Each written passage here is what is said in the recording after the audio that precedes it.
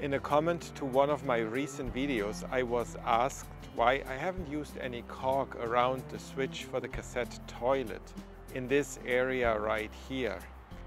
Apparently water can get in and then short circuit the switch and that would cause water constantly running down the toilet, eventually filling up and overflowing the tank and or draining the main water tank. I haven't really used any caulk yet because for me it is not really a problem. I'm not using the shower that much. In fact, I only used it two or three times so far and I was careful not to, to dump a lot of water into this area. But then again, if this is something that I can easily prevent from happening, well, why not just do it, right? I really don't want to use caulk though.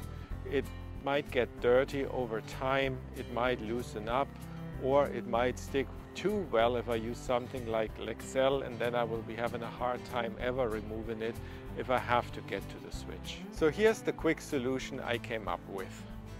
I wanted to cover it with some sort of a vinyl sticker. So I quickly traced out the shape of this whole thing and then used my graphics program to come up with the shape of that sticker. I then sent this to my vinyl cutter and, well, cut out that shape.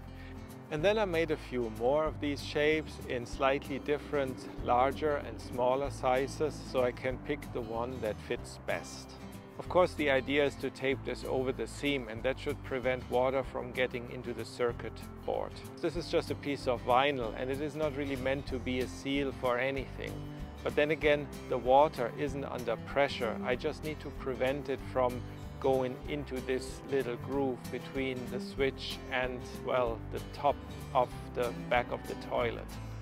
To test out how good this worked, I did a little experiment. I cut this hole into the bottom of this old yogurt container and then I cut another vinyl sticker in this donut shape and I'm using this to basically cover the gap between the bottom of the container and the part that I cut out of the container.